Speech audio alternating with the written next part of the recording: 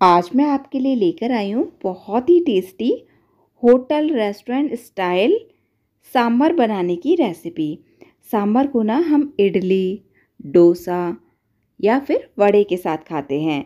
ये बहुत ही टेस्टी लगता है तो आज हम इसे बहुत आसान तरीके से घर में बनाएँगे।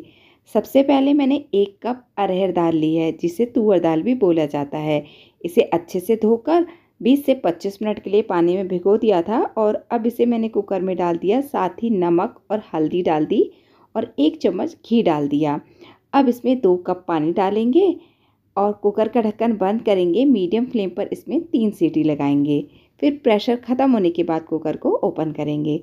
जब तक कुकर में सीटी आ रही है, हम यहाँ पर अपनी सब्ज़ियाँ तैयार कर लेते हैं। गैस पर एक कढ़ाई रखें, जिसमें दो चम्मच तेल डालें। तेल की गर्म होने के बाद आधा चम्मच राई और आधा चम्मच जीरा डाल दें। एक चौथाई चम्मच इसमें हींग डाल दें। एक चौथाई चम्मच मेथी दाने डाल दें। आधा चम्मच मैंने ग्रेटेड लहसुन डाल दिया है और आधा चम्मच ग्रेटेड अदरक डाल दिया है। साथ में डाल दें आठ दस कड़ी पत्ते। अब आप सभी चीज़ों को ना मीडियम फ्लेम पर थोड़ा सा भून लें।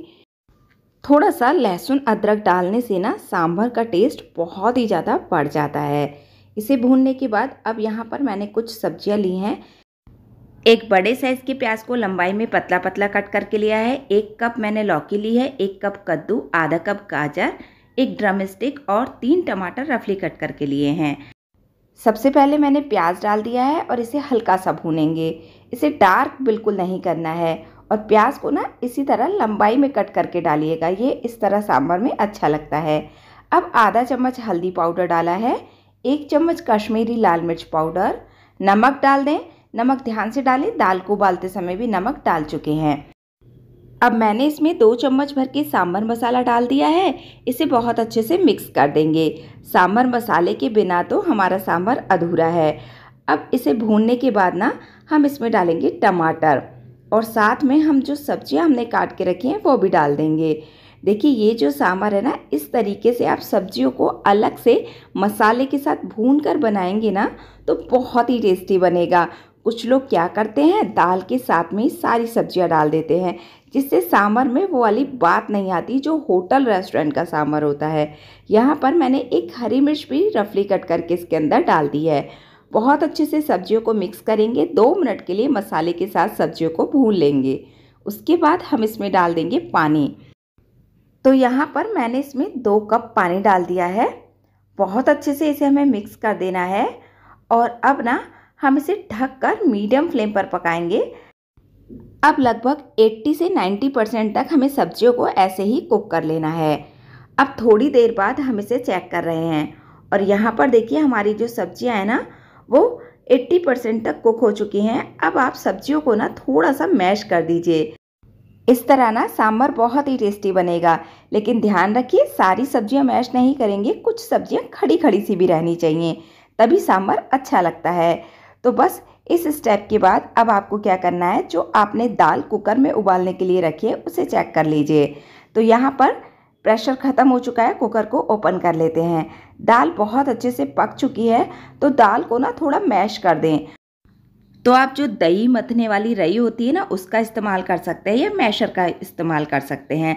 लेकिन ना, दाल को मिक्सी के जार में डालकर ब्लेंड मत कीजिएगा, तब वो पूरी तरह घुट जाती है। हल्के हल्के से दाने से भी दाल के रहने चाहिए। ये देखिए, एकदम परफेक्टली मैंने इसको मैश किया है। अब देखिए, सब्ज़ियाँ तो हमारी कुक हो ही चुकी हैं। तो बस, जो दाल हमने तैयार करके रखी है, वो हम इसके अंदर डाल देंगे। तो इस तरीके से दाल को अलग पकाकर और सब्जियों को मसाले के साथ अलग भूनकर सांभर बनाया जाता है तो उसका टेस्ट अलग ही होता है। दाल डालने के बाद आधा चम्मच के करीब गुड़ डाल दिया है। और यहाँ मैंने वन फोर्थ कप इमली का पल्प डाल दिया है। बहुत अच्छे से इसे मिक्स कर देंगे। सांभर बनाते समय ना इसमें थोड़ा सा गुड़ और इमली का पल्प ज़रूर डाला जाता है। इससे सांभर का टेस्ट बहुत बढ़ जाता है और इसका कलर भी अच्छा आता है। अब सभी चीज़ों को मिक्स करने के बाद सांभर हमें काफ़ी गाढ़ा लग रहा है। ऐसा सांभर तो नहीं चाहिए। तो अब आप क्या करें? इसमें थोड़ा पानी डाल दें। पानी आप गर्म डाल दीजिए। बहुत अच्छे से इसे मिक्स कर देंगे। अब सांभर को ना थोड़ी देर के लिए उबलने देंगे। तो आप इसे ढक कर लगभग पाँच से सात मिनट के लिए उबाल लीजिए मीडियम फ्लेम पर। तो इसे ढक दिया है। अब ना सांभर को पकते हुए सात मिनट के करीब हो गए हैं। तो ये देखिए, एकदम परफेक्ट कंसिस्टेंसी का सांभर तैयार है। ना ज़्यादा पतला है और ना ही ज़्यादा गाढ़ा। बहुत पतला सांभर भी नहीं अच्छा लगता और बहुत गाढ़ा नहीं। इस तरह का सांभर एकदम परफेक्ट लगता है और इसमें सब्ज़ियाँ भी ना थोड़ी थोड़ी दिखाई दे रही हैं और थोड़ी थोड़ी मैश हो चुकी हैं। तो ये सांभर रेसिपी एकदम परफेक्ट है।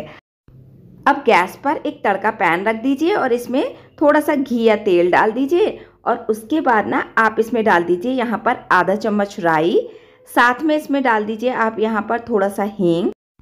अब इसमें डाल दीजिए आठ दस कड़ी पत्ते और दो सूखी साबुत लाल मिर्च को ना थोड़ा सा तोड़ के डाल दिया है। अब ना इन्हें हल्का सा भून लेंगे। गैस का फ्लेम मैंने ऑफ़ कर दिया है क्योंकि घी काफ़ी गर्म हो चुका था।